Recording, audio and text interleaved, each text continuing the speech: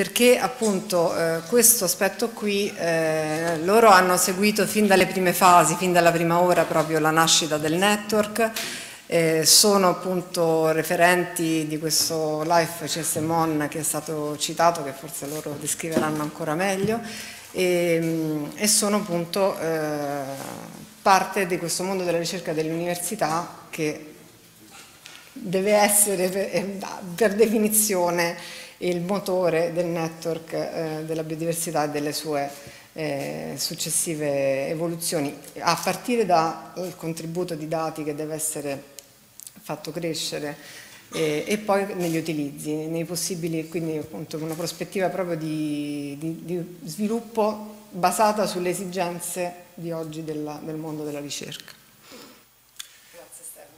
Cioè, è buttato lì praticamente una miriade di, di, di potenziali argomenti, quindi ehm, guarda, io in realtà volevo, volevo puntualizzare alcuni aspetti che questa mattina mi hanno particolarmente interessato, questa mattina negli interventi precedenti mi hanno particolarmente interessato.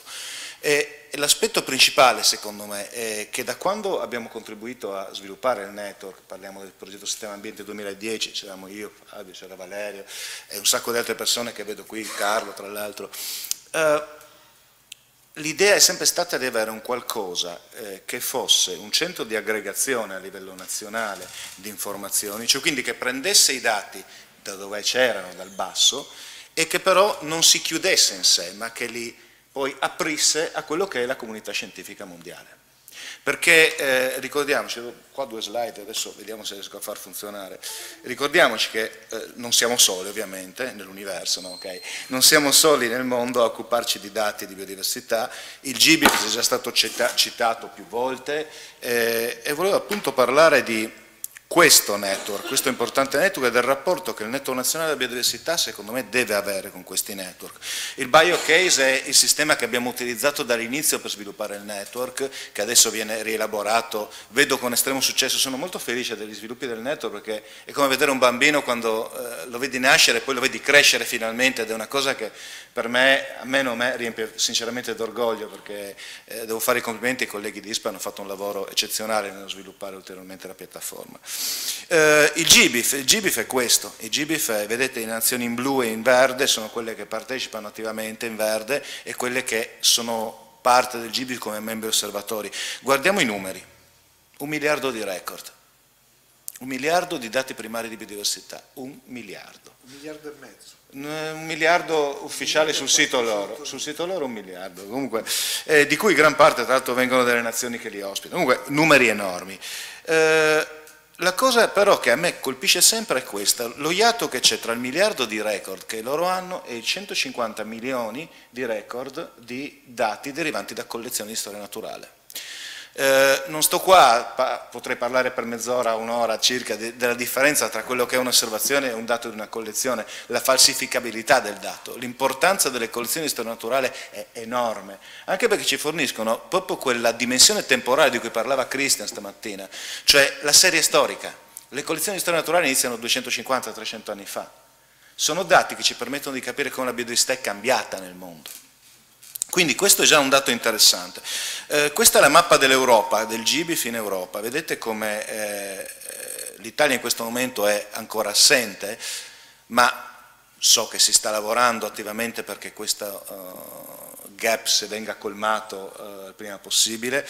E proprio recentemente ci sono stati i primi contatti con il board del GBIF. Tuttavia l'Italia è assente, ma non completamente assente, perché alcuni eh, provider italiani, che poi sono anche provider, almeno non so se tutti, ma alcuni, del Network Nazionale per l'Università, partecipano indipendentemente. La scelta che facemmo all'inizio di utilizzare il protocollo Biocase per eh, condividere i dati nel network, appunto permette di condividere i dati verso più direzioni. Nella fattispecie noi, eh, almeno per quanto riguarda ad esempio il mio istituto, noi condividiamo i dati nel network, siamo dati provider del network e anche nel GBIF. Quindi dati, gli italiani ci sono, ci sono con 285.000, 280.000 record, non sono tantissimi, però è una partecipazione importante. Eh, chiaramente questi 280.000 prim eh, primary biodiversity data, dati primari di biodiversità, occorrenze eh, georiferite, non sono tutto quello che abbiamo in Italia. In Italia c'è molta roba, ci sono molti dati. eh, io penso solo alle collezioni di storia naturale che sono poi eh, per me la fonte più attendibile più solida di, di informazioni eh, di dati primari di biodiversità. L'Associazione Nazionale Musei Scientifici in particolare con il progetto Colmap che Vincenzo Vomero qui presente ha coordinato eh, ha censito, metadatato le collezioni, ha tentato di iniziare una metadatazione delle collezioni di storia naturale dei musei italiani. In Italia abbiamo 400-500 musei di storia naturale, dai più piccoli ai più grandi, numeri eh, che nessun altro paese ha. Questa frammentazione non c'è in nessun altro paese. Abbiamo provato a cercare di capire quanti dati, che dati hanno questi musei. Alla, al survey per il momento hanno risposto 84 musei che sono però i principali, eh, alcuni tra i più grossi, e guardate i numeri, 84 musei italiani hanno collezioni che contengono all'incirca 25 milioni di campioni.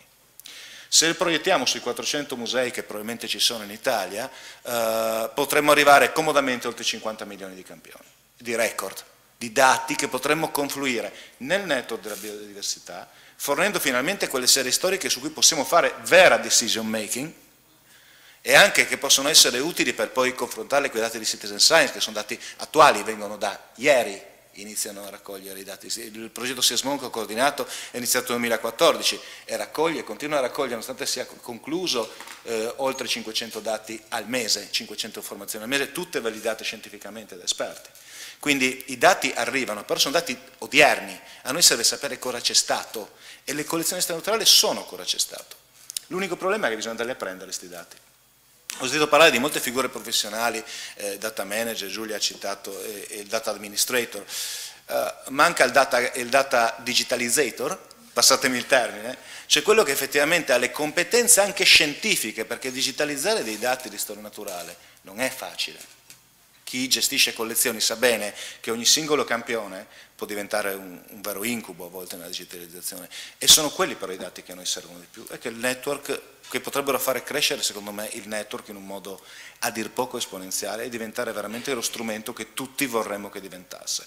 Poi certo ci sono tanti altri strumenti che potrebbero essere accoppiati al network, penso ad esempio eh, Andrea parlava di strumenti per i cittadini per coinvolgerli, chiave di identificazione digitali, ci stiamo lavorando da da tanti di quegli anni a Trieste, da 15 anni ormai, sono strumenti fondamentali, eh, app, eh, cataloghi distributivi, un sacco di informazioni che ci sono e il network ha le potenzialità finalmente per diventare l'aggregatore di tutte queste informazioni. Grazie Stefano. Anche noi ci crediamo molto, devo dire che eh, adesso penso che abbiamo in mano veramente uno strumento molto potente e molto eh, devoto a diventare davvero un punto di riferimento nazionale per tutti questi sviluppi e appunto eh, invitiamo tutti a, a, essere partecipi di, nuovo, eh, di questa nuova evoluzione del network.